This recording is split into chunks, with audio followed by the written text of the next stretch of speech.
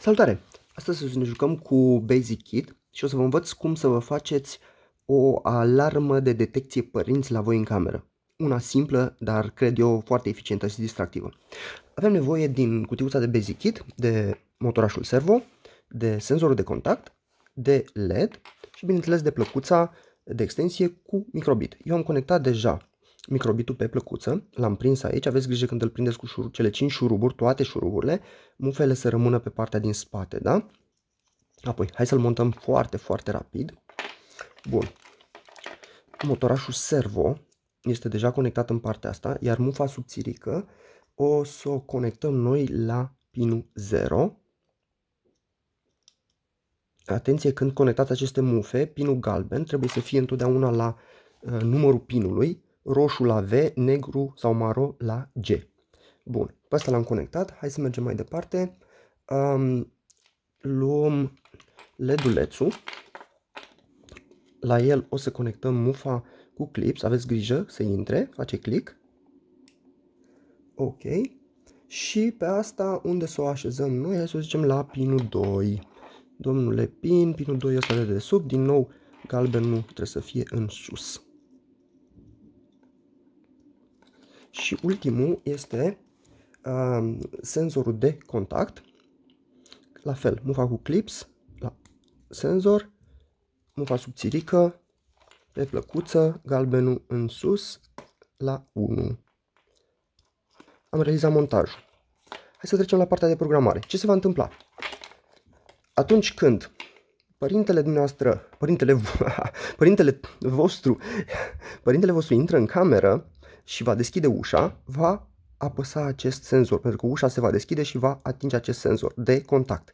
Când senzorul este apăsat, LED-ul va începe să pâlpâie, motorul va începe să se învârtă și pe, va, va anunța că a intrat cineva la voi în cameră. Hai să programăm.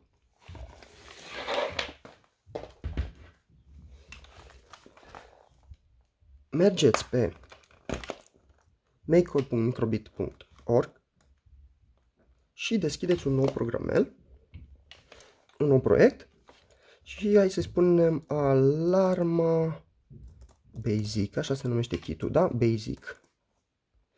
Ok. Ce trebuie să facem? Păi, în primul rând, am legat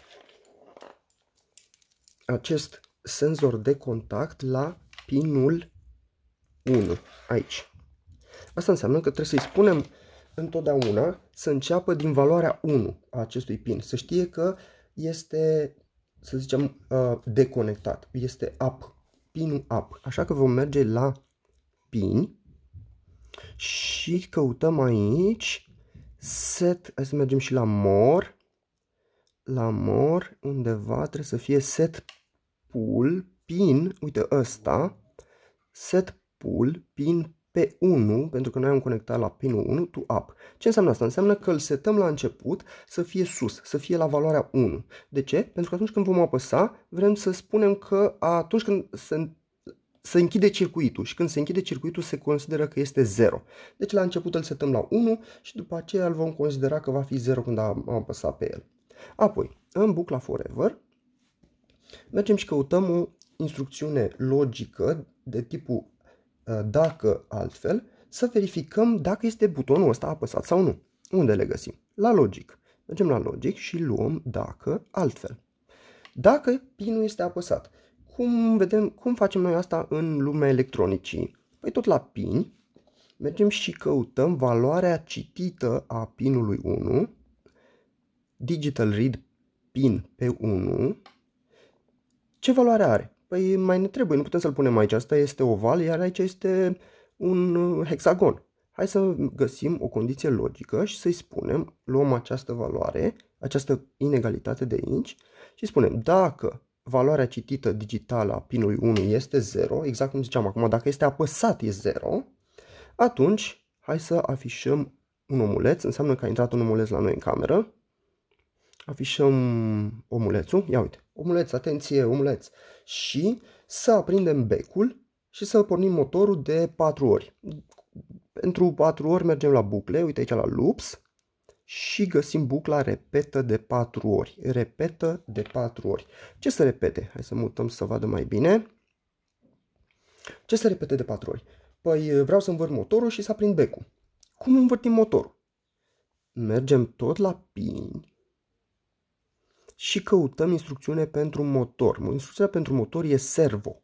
Servo right pin pe 0. Unde am pus motorul? La pe 0, nu? Și sper că și la voi la fel. Și să-l lăsăm mai întâi la 180, după care îl punem la 0, 180, 0, el așa știe să învârtă 180, 0, 180, 0, 180, 0, astea sunt grade, gradele pe cerc, un cerc are 360 de grade și el știe să se ducă doar de la 0 la 180. Așa. Deci acum l-am pus să se învârtă și mai trebuie să-i spunem becului să se aprindă. Becul l-am pus la pinul 2, tot la pins și spunem digital right, adică scrie digital valoarea pinului pe 2, că acolo am pus LED-ul la 1. 1 înseamnă aprins. Eh, puteți să trageți de asta și să face 1.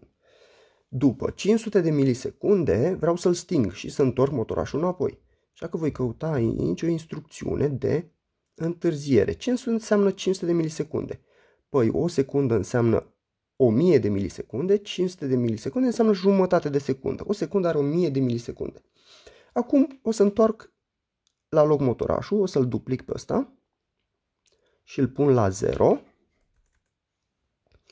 O să îl duplic și pe ăsta și îl pun și pe ăsta la 0.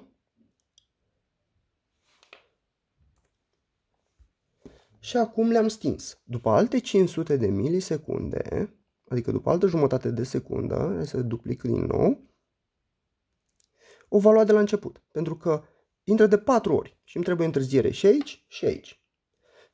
Bun. Ah, numai că nu trebuia pus la else, trebuia pus chiar aici la if. Dacă am apăsat, am greșit, eu le-am pus greșit pe acest repeat. Așa, acum, ce mi-a rămas? Mi-a rămas else-ul, da? Aveți grijă să nu faceți ca mine, voi puneți la if, deci sub afișarea omulețului, puneți bucla de repeat, adică de repetă. La else, trebuie să afișăm că nu e nimeni. Și să punem uh, motorul să stea la poziția 0 și LED-ul să fie închis. Păi luăm uh, instrucțiunea de LED închis, o duplicăm și o punem aici, LED închis. Luăm instrucțiunea de uh, motor la 0 și o punem de desubt. Și luăm instrucțiunea de afișare și punem aici și zicem că nu s-a întâmplat nimic. Uite, punem X-ul ăsta, înseamnă că nu s-a întâmplat nimic, da? În felul ăsta am făcut programelul. Hai să ne mai uităm o dată. Dacă butonul este apăsat, adică dacă e jos, da? 0, pentru că l-am setat la 1 la început, afișează om, repetă de 4 ori, mută uh, motorașul, aprinde LED-ul, așteaptă jumătate de secunde, stinge LED-ul, întoarce motorașul înapoi. Altfel, dacă nu s-a întâmplat, deci dacă n-am apăsat pe buton, să-mi afișeze X și să nu se învârtă nimic, să nu se aprindă nimic. Hai să descărcăm programul acum. Am luat montajul așa cum e și conectez mufa micro USB. Aveți grijă că intră într-o singură poziție. Apăs pe butonașul ăsta de aici. Mă întreabă unde îi spun direct în drive-ul microbit. Vă, dacă vi-l pune în downloads, puteți să-l copiați de acolo și să-l puneți direct în drive-ul microbit. Acum, LED-ul galben pâlpâie, semn că programul se transferă în memoria microbitului. Când s-a terminat, sunteți gata să deconectați. Înainte să dați drumul la experiment, mai trebuie ceva. Să alimentați experimentul, pentru că până acum a fost alimentat prin cablu micro USB. Luați cutiuța cu baterii, Conectați mufa albă aici, aveți și aici grijă cum o băgați și va trebui să pornim. Hai să punem. Deci ăsta e butonul pe care îl vom pune la ușă. Aici e LED-ul și ăsta e motorașul. Îi dau drumul. Momentan, sper că se vede, momentan pe microbit îmi arată un X, semn că nu e nimeni. Și dintr-o dată vine cineva și deschide ușa și apasă pe contact. Ia uite, omul. A apărut omul. Alarmă, alarmă, alarmă. A plecat omul, mai vine încă o dată și mai deschide o dată ușa. Ia uite, a apărut un om. Atenție, atenție, atenție. Ce puteți să faceți mai mult? Puteți să programați acest mini difuzor de pe spate împreună cu LED-ul și cu motorașul.